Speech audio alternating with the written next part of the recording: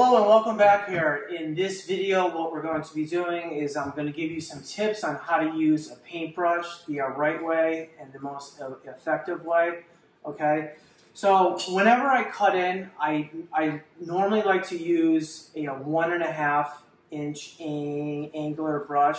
Okay, and again, this is the size of a one and a half okay? And I use this to cut in against the ceiling, against the door casings, against the baseboards, okay? Now you might ask, why is this brush so small?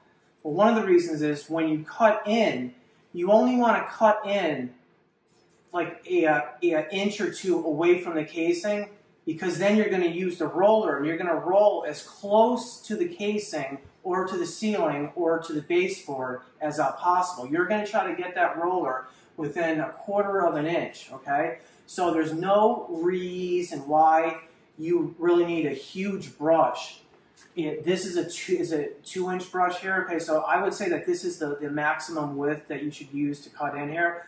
Because again, what whatever you can roll, there's no sense in using a brush to, to cut in e even wider than, than this, and this is an inch and a half, okay?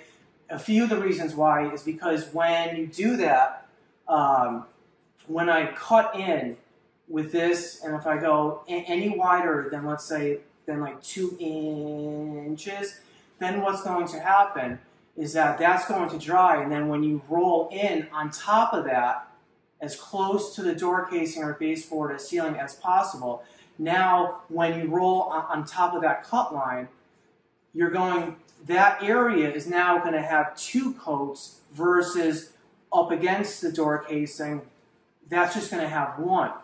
So just keep that in mind. The wider you cut away from the door casing or the ceiling or on top of the baseboard, the, the wider you cut, then when you go to roll, then when you roll it, now you're going to have two coats, okay? So when you have two coats, then it's going, the coverage is going to be different than when you cut in, and also the sheen is going to be different. So let's say that you're using an eggshell sheen, okay?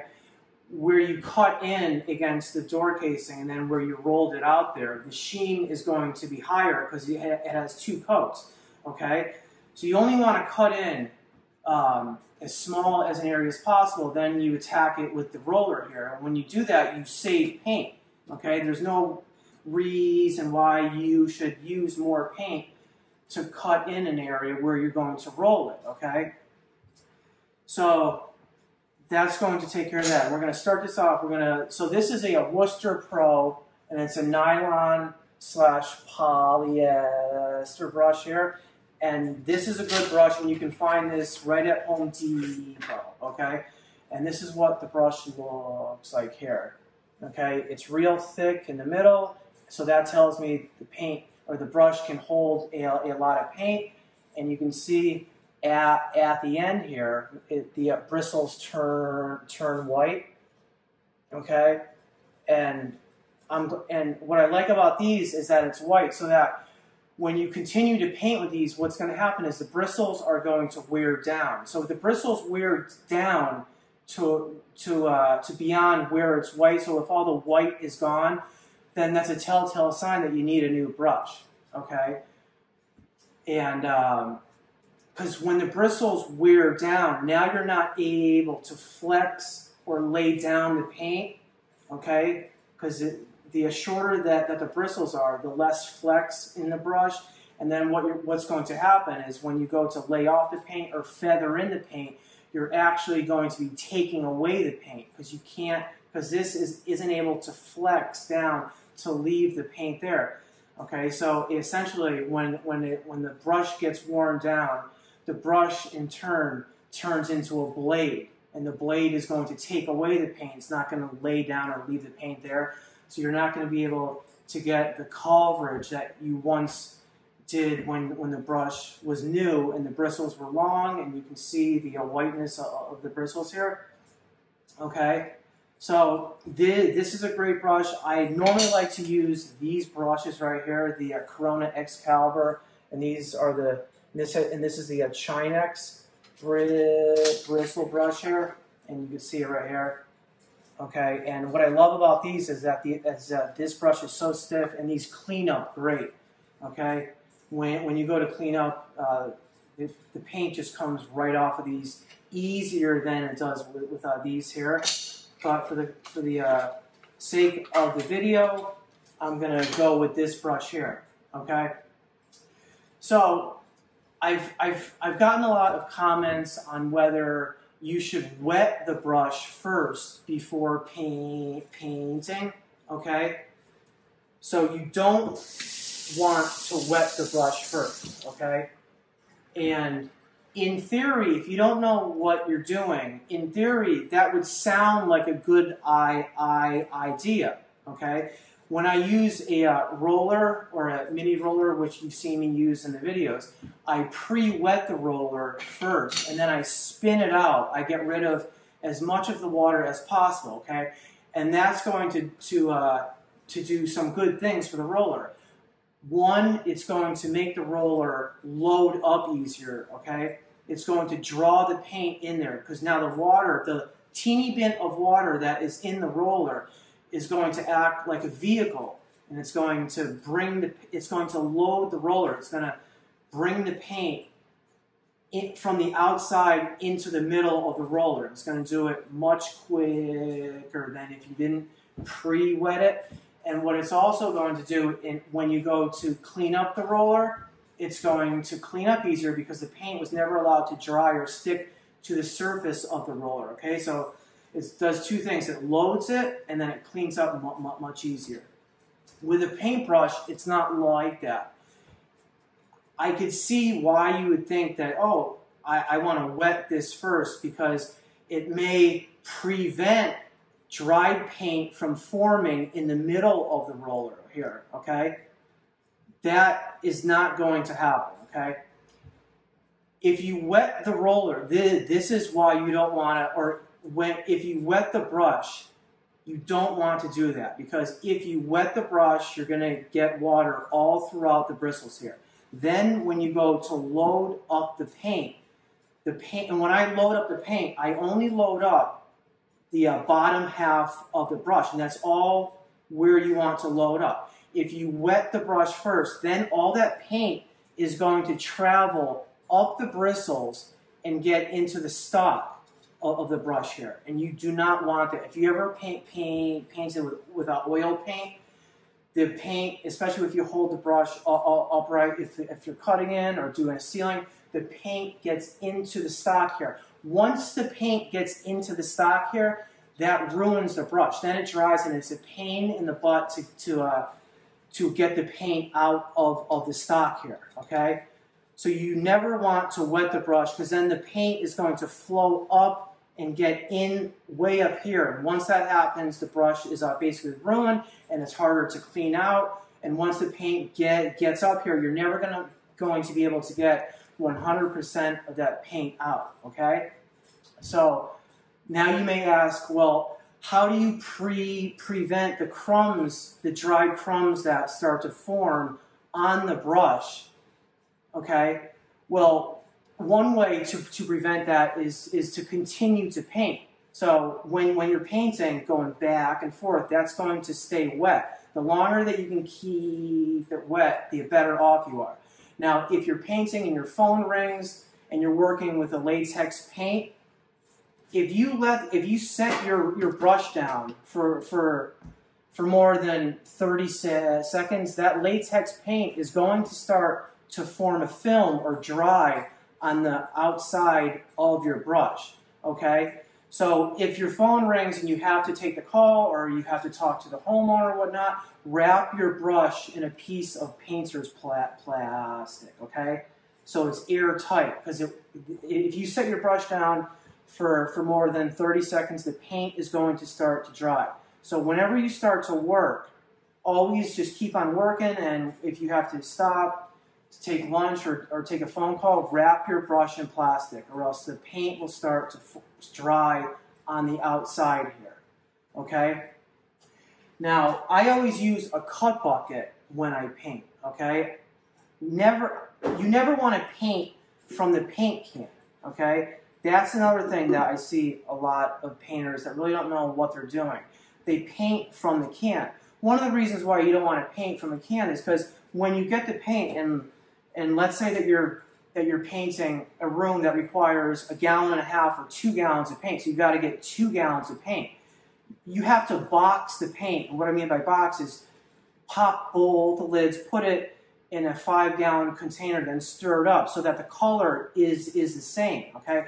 What people do, or inexperienced homeowners do, is they get two gallons of paint and they're shaken up at the paint store and they just assume that both of the colors are identical to one another. And that's not the case. Because when they mix them at the paint store, the, the machine could have slightly put one more drop of black in it and the paint is a different shade than the other can, okay? So you never want, so getting back to painting from, from, from the can, I, and when people paint from, from the can, they put their thumb here, and what they do too is they, is they, this is, the, this is how far I like to, uh, to load up, okay? And what they do is they drag it on the outside to, to clean up the paint. Now you don't want to do, do that. A, because when, when you do that, you can see how far the paint has traveled up the brush. By every swipe up, by cleaning off your brush, now the paint is going to dry right here, okay? So you don't want to dip the paint in and then rid the paint on the side of the uh, paint can. And another reason why you don't want to do that is because now you're getting rid of the paint, okay? Now, when I transfer this to the wall, I don't have a lot of paint to work with, okay? The right way to do it, if you have to paint from a paint can, which I uh, don't like to do, tap it on either side of the paint can. That'll get rid of the bulk of the paint, but still leave you enough to transfer to the wall. And once you transfer it to the wall, then you use the brush like a tool to to uh, to move the paint or transfer it to to your cut line. Okay, so you don't again you don't want to do this because then the paint's going to get further up, up the brush and then it's going to really dry fast. Okay. Okay, so that's going to take care of that. Now, when when you clean up, I'm just going to clean clean this up right here. Whenever you use a sink here, you always want to pre-wet the inside of, of the sink here, okay? So that the paint won't stick to, to the side of it here, okay? And when you clean up, always hold, hold your brush down so the paint won't travel up in, into the stock of the brush so it won't get way up here. Because once the paint gets way up there, it's a pain in the butt to uh, get rid of, rid of here. So once I have it like that, I'll tap it like 10 times to a one side. I'll do that in slow motion there. And then I'll move it to the other side and, and, tap, and tap it, okay? So I'm tapping it back and forth to get rid of the paint. Now, another no, no is is turning the brush up like that to get rid of the paint. Now you have to, to uh, do this, but don't grab the paint, don't grab the brush here and do this. Because you can see it's going to ruin the, uh, the uh, bristles. Okay, so what you want to do is hold the top of, of, of, the bristles at the top and let the paint or the, the water flow through the, the bristles. Okay, and you have to do to do this to get any of the paint out that is inside of the stock here. Okay, so this is usually the, the last move that I do, and I only do I only turn the brush upside down when probably 95% of the paint is out of the brush here.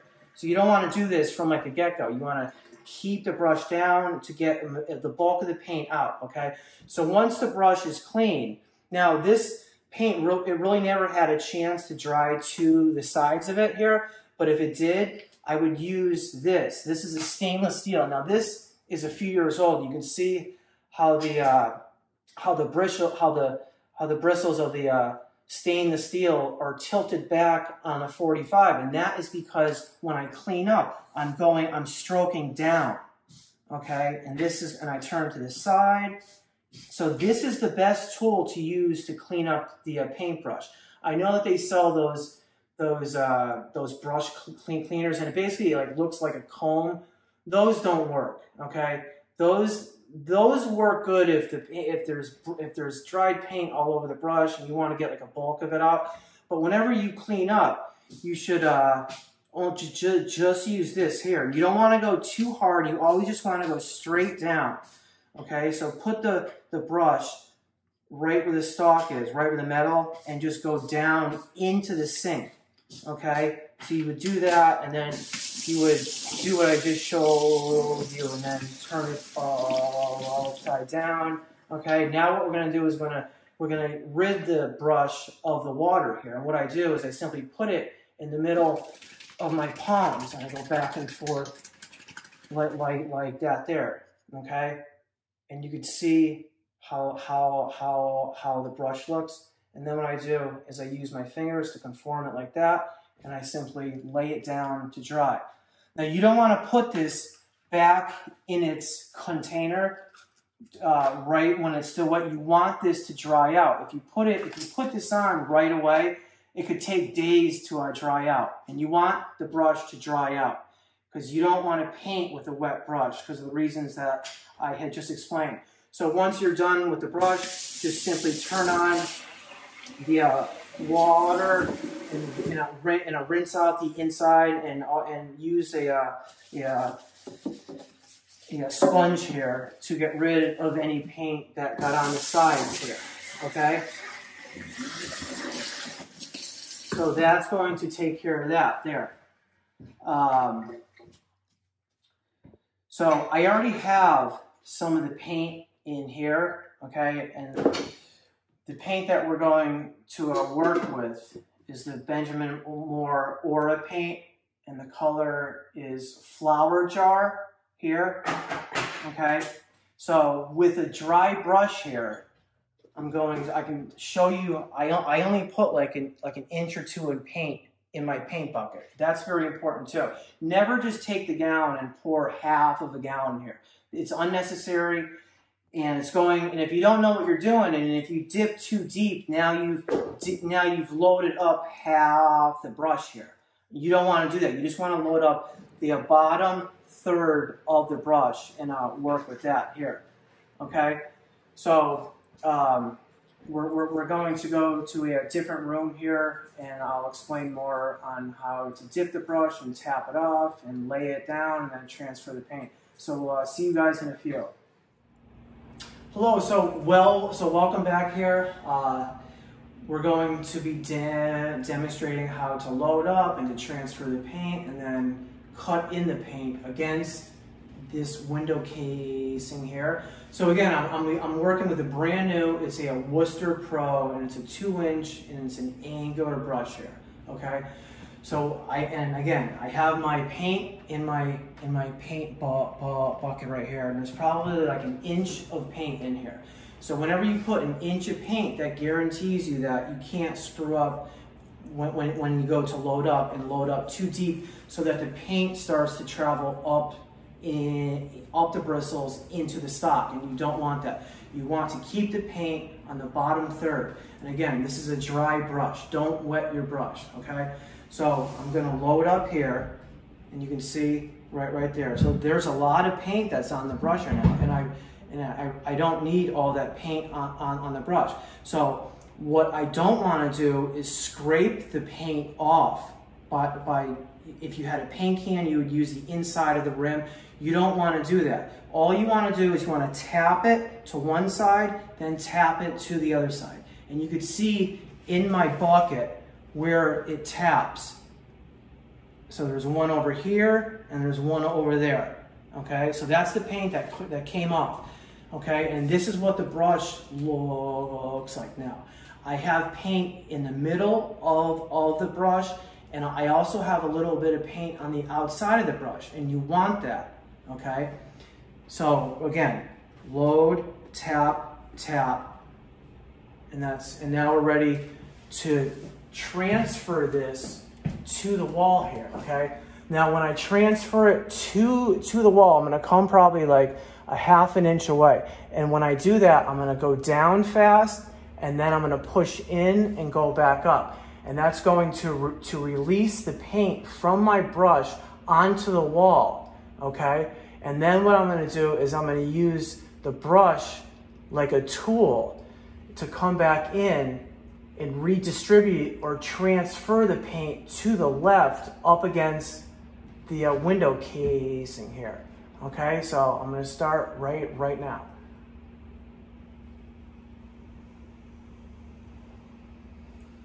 Down, up, okay? That rids the brush of the paint.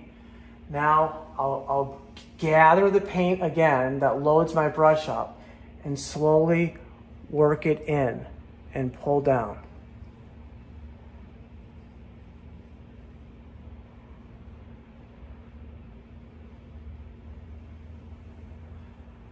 Okay, I'll stop there. Now I'll come back up and feather that side off there.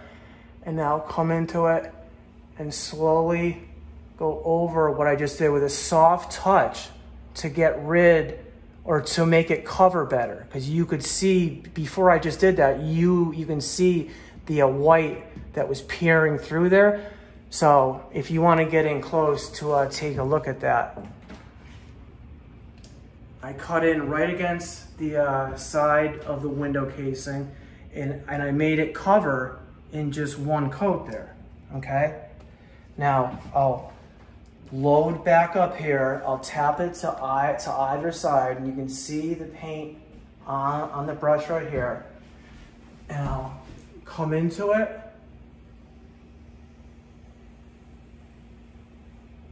And then go back up, okay?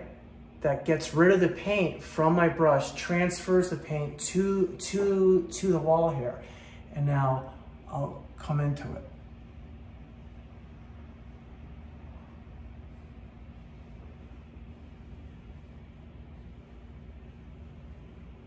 Okay, I'll stop here and now I'll slowly, I'm laying my knuckles down to leave paint there and feather back into what I just did right there. Okay, so if you want the camera to get closer there.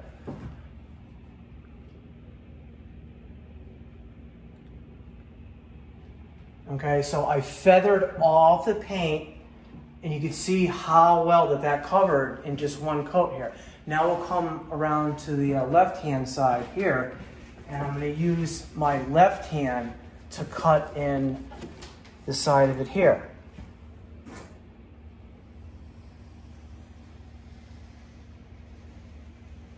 Okay, now I'll come back up. Now I'll come back in, in into it there.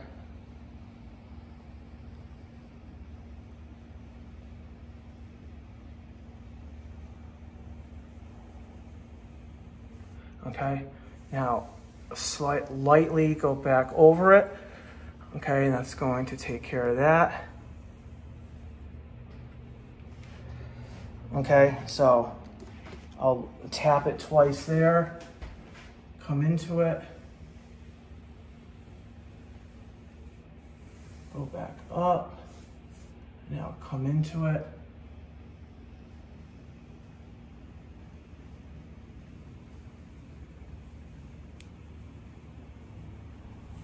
Now lay down the brush, real easy, come back into what I just did right there, okay?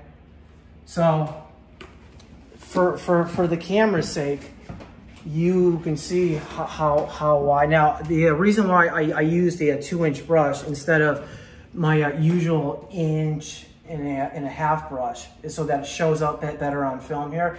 But when I'm cutting in, my, my cut-ins don't get that wide, okay? They're, they're probably like half that because when I roll, I'm gonna roll as close to the wall as, as a possible, okay? Now, if you were just to roll right on top of this with just one coat, this whole area right here would be two coats and it would the sheen would be higher and the color wouldn't match the a quarter of an inch where the roller couldn't get to there, okay? So we'll come over here and again with my left hand here, I'm just gonna, I'm gonna, I'm gonna try to go at, at my usual pacer.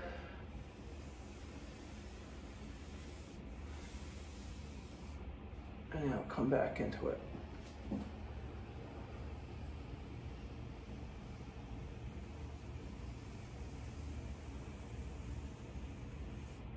And okay and feather off that side there. And again you can see that the paint is still on the lower third of the brush. So I'll load up here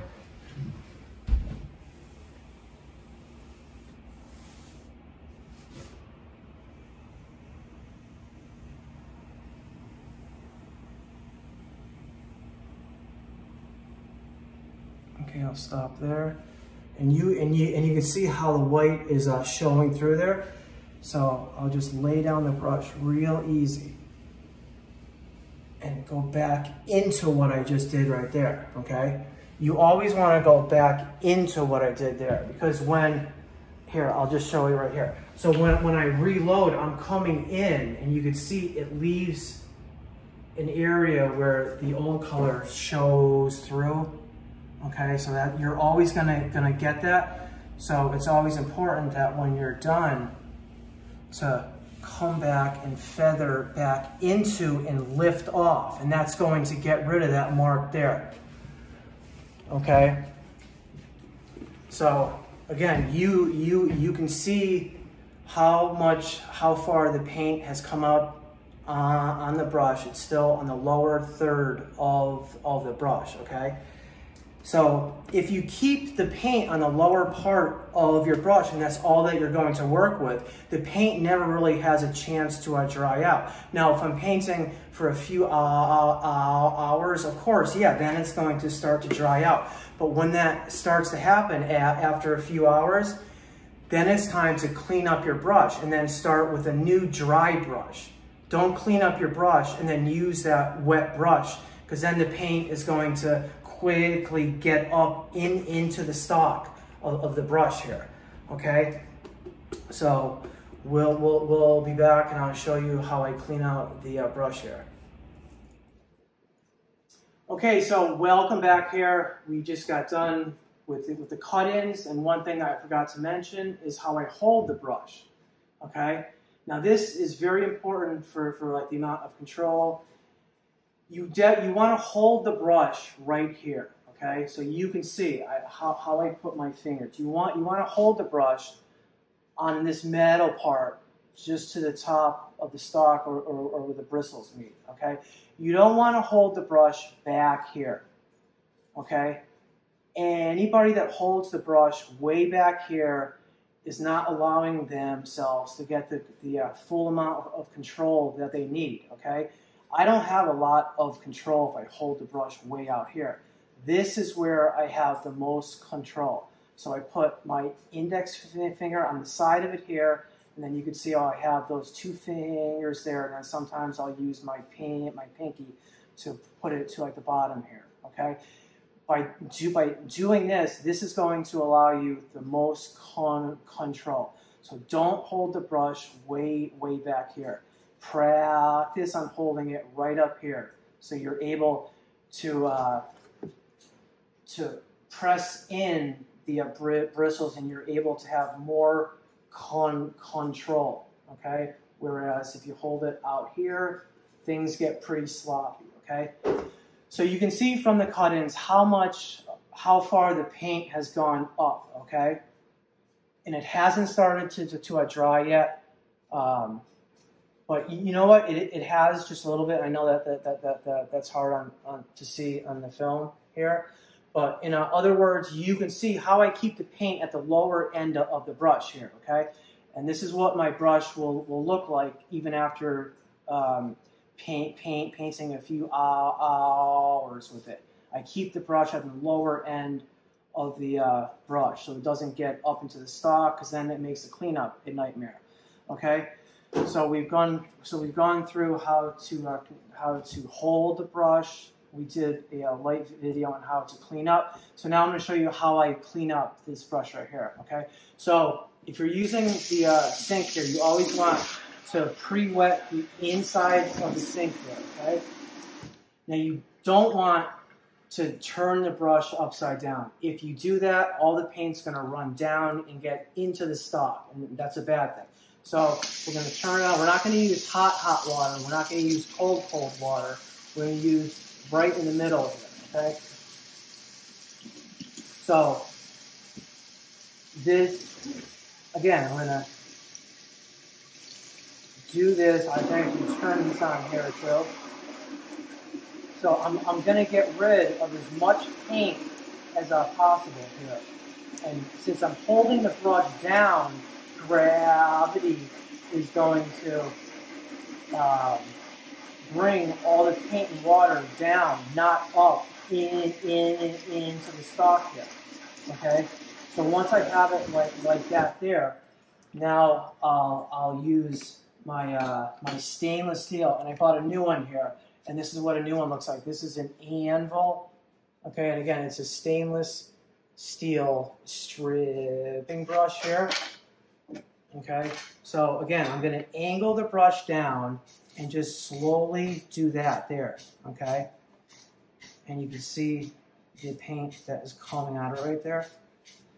Okay, and you, you just want to go real gent gentle. If you go too hard, you're going to uh, ruin the, the, uh, the, the, the uh, bristles here. So once I have the uh, paint that's cleaned off there, now I'll tap it to one side like 10 times, and then tap it to the other side, and then go back again, and go back again there. Okay, so that's going to rid the brush of pretty much like 90% of the paint here. Okay. Now, since this is a new is a new one, there there's still a little bit of paint that's right here. Can't really see it on this side, so I'll come back in, and put it right there. And do the side, and I'm just I'm working down, not going to the side, not going to the side. I'm not going on a 45. I'm going straight away from my body. I'm using the inside of the sink here to as a platform, so so that when I scrape, it provides a, uh, a backdrop or a foundation to, to scrape away any of the uh, dry paint there. So once I have it like that, I'll, I'll tap I'll tap it again. Okay, and now lastly, I'll turn it upside down, hold the bristles, okay, in the palm of my hand and then let the water calm, calm down. Okay, I'll, I'll, I'll, do that yeah, a few times there. That's going to ensure that if you did get any of the paint in, in the stock, it's going to rid the paint of the stock. So now I'll turn the brush down, down right, place it in the middle of my hands, and work the paint out. Okay, so this vibrates the brush in a, in a circular manner. Okay, so now the paintbrush is dry. Now I'm not going to put this brush while it's still wet back in its container here. Then if you did that, the brush does, doesn't get the air that it, it needs to dry out. So what you want to do um, is what I do is after I clean the paint out of here, I'll put it on the inside of my of my bucket because there's a magnet here, but I don't want to do that because there's paint in there. So all you have to do is, is uh, simply just lie it down, okay? And give that at least a few hours to dry out. And then once it's dried out, then put the cover back on it. And the, you see the hole that's at the top of the brush?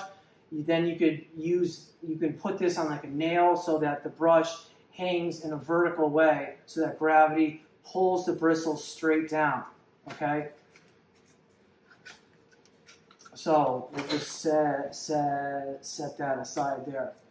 Okay, so yeah, a few more important things while, while we come to the end of the video. Again, you don't want to wet your brush first, okay? Because when you do that, it ruins the integrity of the bristles. Now the bristles aren't going to work like they did if they're dry.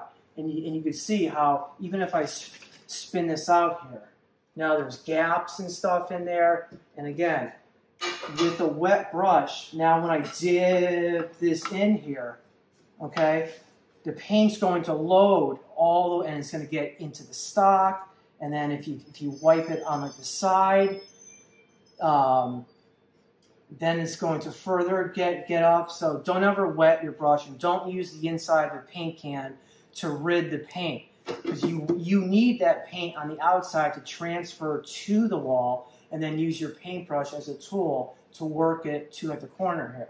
Okay, so I'll just simply clean this brush out here. And since the paint is, is uh, wet, it didn't have a chance to set up or dry, I'll turn it upside down.